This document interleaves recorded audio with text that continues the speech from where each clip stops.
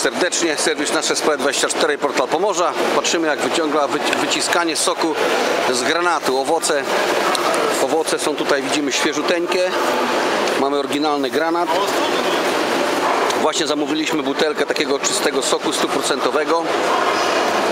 A pan skąd jest, księże?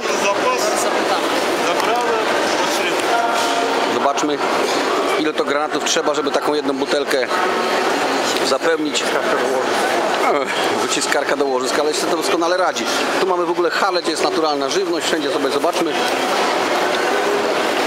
Sok jest taki bardzo dobry, to na próbę dostałem po posmakowania w takim malutkim plastikowym mm, kubeczku. Natomiast tutaj pan nam to wyciska.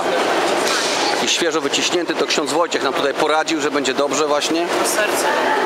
Na serce, tak? Mhm. No, sobie zobaczymy. Tu granaty są, widzimy, takie ułożone, ułożone sobie w takie piramidki.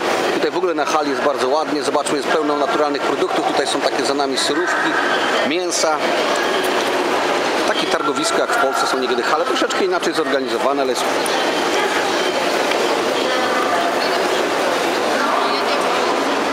granaty откуда? Azerbejdżan. Z Azerbejdżanu. A wy to, że z Azerbejdżanu? Da, da, da. Da. Czy widzimy z Azerbejdżanu świeżutkie granaty. One troszeczkę inaczej wyglądają niż te, co my mamy w sklepie. Te w sklepie u nas są takie widać chyba mniej dojrzałe, takie jasne. One w ogóle, że- zresztą tutaj wiele owoców, które są tutaj na tej hali mm, jest całkowicie inaczej wygląda. Arbuzy są super, y, melony w smaku inaczej, wszystko, wszystko jest ekstra po prostu. O. Tutaj mamy teraz butelkę.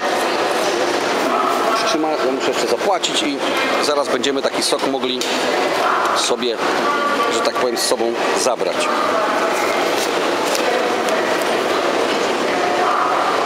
...130 hrywien to jest około 20 zł na polskie. Trochę mniej chyba, co?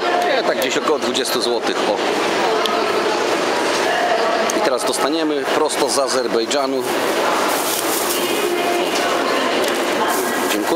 Spasiba.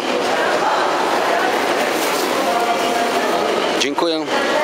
Także tak widzieliśmy jak wygląda tutaj wyciskanie soku. A ten tutaj nie ma. Bo tutaj mamy różne, ale jakie ładne. A To mięso normalne. na przykład? Tu było jakieś te pieczywo. Tu mięso różnego rodzaju. A tutaj jeszcze te sucho, frukty.